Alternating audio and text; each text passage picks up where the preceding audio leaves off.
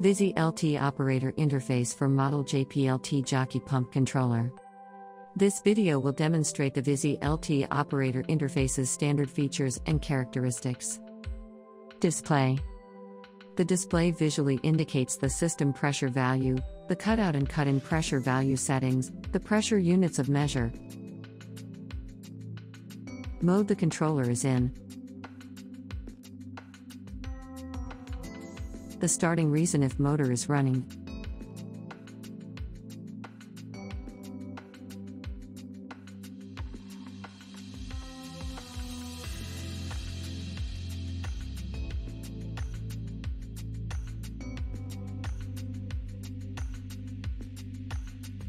And the elapsed motor runtime.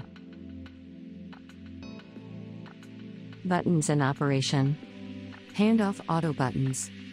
These three buttons replace a traditional rotary Type 3 position selector switch.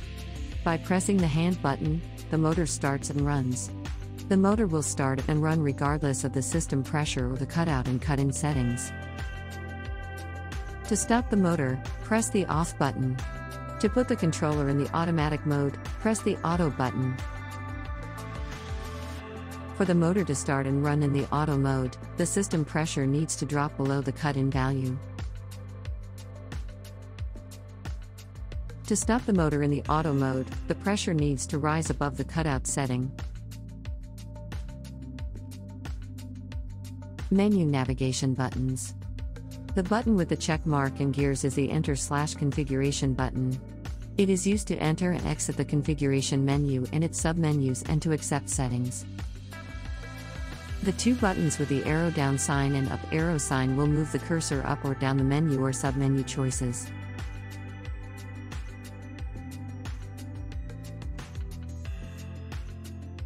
Timers.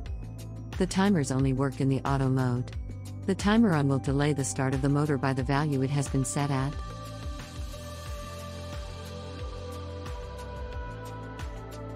The timer off will delay the stop of the motor by the value it has been set at. Note, to learn how to set the timer on and timer off please watch the How to Commission a Model JPLT Jockey Pump Controller video.